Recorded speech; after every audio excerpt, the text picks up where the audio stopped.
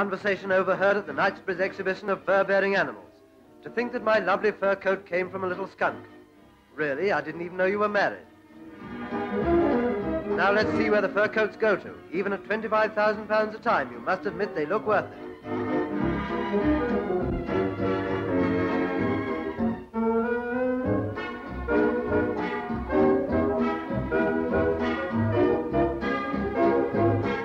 The winter bride has a gown of ermine. You get so chilly driving round the park. Chinchilla, mink, white fox on velvet. There's no excuse now for feeling cold.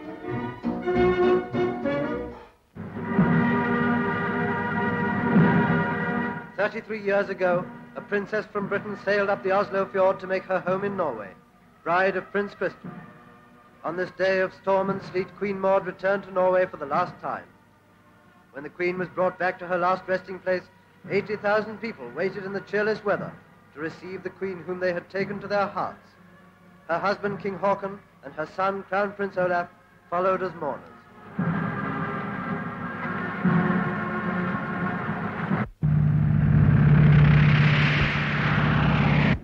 Sussex. Gaumont British News was the only newsreel to draw attention to the case of 11 pedigree dogs sentenced to death for sheep worrying. Now, on appeal, their owner, Miss Slattery, has obtained a reprieve and they will not be destroyed.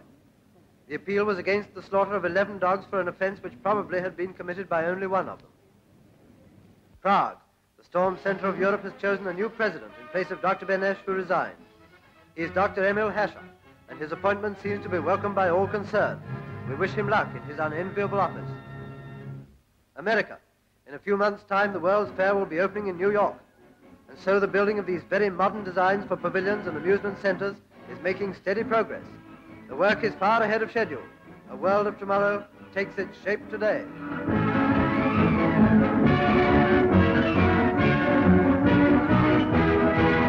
Portsmouth, one of the 16 destroyers of the tribal class, is called HMS Gurkha, and a presentation of trophies was made by Major General C.H. Powell on behalf of the 20 battalions of the Gurkha Brigade.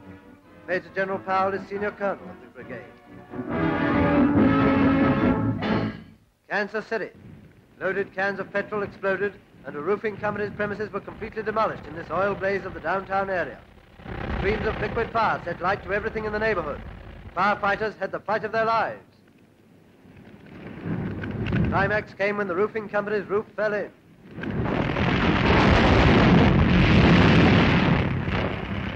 London. Marylebone Town Hall was the scene of the wedding of George Robey and Miss Blanche Littler. They were surrounded by air raid precaution placards. Goodness knows why. Before descending the steps, Mr. Robey stopped and he looked and he listened to the click of cameras and the cheers of the famous and the obscure.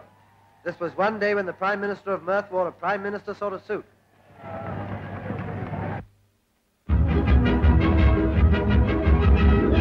There were more than mere football thrills in store for Arsenal when they went to play the famous racing club in Paris. Prague had held up their plane at Croydon, and landing at Le Bourget, they say they nearly hit a hangar. But here they are in the field in their familiar colors. Racing club are in hoops, but beneath the familiar white and red shirts of the Highbury men, there is an aching void. They had breakfast at half past six in the morning and had no time for another meal before the match. Racing club were the first to score from a corner. That made Arsenal one down, although they were not downhearted and least of all down in the mouth. They kept on trying to feed that wide open goal mouth, but nothing happened till the game was nearly over. Then Drury ran through and equalized. Garçon, bring the menu.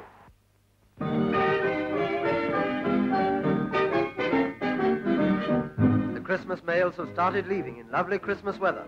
Already the great-hearted British public has begun to send gifts to friends and relatives abroad. A shaving brush to Freddie in Borneo and a box of cigars to Uncle Henry in Havana. As there's going to be no increase in income tax, you can spend lavishly. Of course, there might be an increase, but if there is, you might as well go broke now as later. And of course, in London, there's the pavement store. In Holborn, there is always an exciting display of toys on the curb. Now then, pop it down where you like, ladies. There's a lovely little gun here, all the way from Aldershot. A real right cracker. Look at it, eh? All the right toys here we've got this time. There's a lovely violin. Here, half a crown. I'll sell it to you for a shilling. Here you are. I'll give you tuppence. What do you say about that? I'll ring up my solicitors. Paris is much more posh. The big stores have had their displays in the windows, and as usual, they go in for moving figures in a grand way. Everything made to work, with an orchestra guaranteed to make Aunt Fifi's head ache.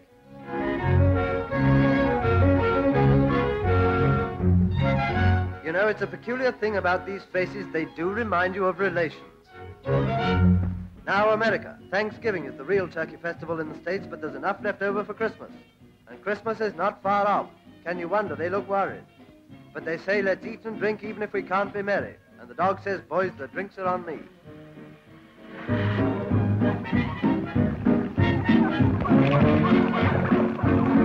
Alas, poor Rudolph. He ate too much and got a nightmare. And here's a story for those who don't believe there is a Santa Claus. Of course there is. Apart from anything else, there's a place in Indiana which sends out letters with Santa Claus on the date stamp. Do you want any more proof than that? Needless to say, Santa Claus himself is the postmaster, and he knows that the old songs are best. Jingle bells, jingle bells, jingle all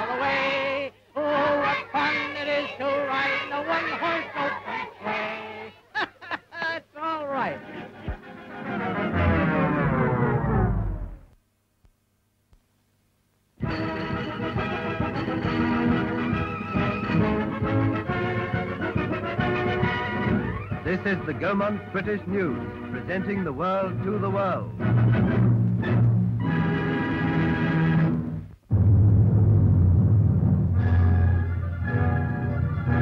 Forest fire came creeping over the mountains in California, along the famous Santa Monica Range and bearing down upon Los Angeles. Charred hills and a blackened countryside lay in the path of the angry flames which were driven forward by a 60 mile an hour gale. 4,000 firefighters worked to stem the oncoming tide as it advanced on the homes of film stars in Malibu and Santa Monica.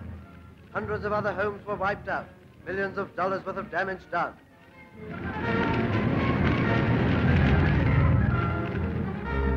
The blaze that swept over 10,000 acres was said to have been started by a man in Topanga Canyon. From his cabin fire, he emptied red-hot coals upon the brushwood, and the flames ran amok.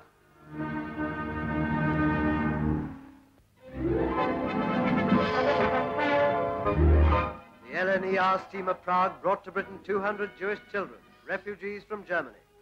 They came from middle-class homes in Berlin, Leipzig, Breslau, and Hamburg. The youngest among them were five years old, the eldest 17, and they are to be trained for useful service in Britain. Until suitable homes can be found for them, they are being cared for in the holiday camp at Dovercourt. Many of these children are orphans. Others have parents who are in concentration camps in Germany. Britain is ever ready to hold out a helping hand to the oppressed and suffering. But it is incredible in this 20th century that it should be necessary. China. Every mail from the Far East brings a story of bombardment and terror.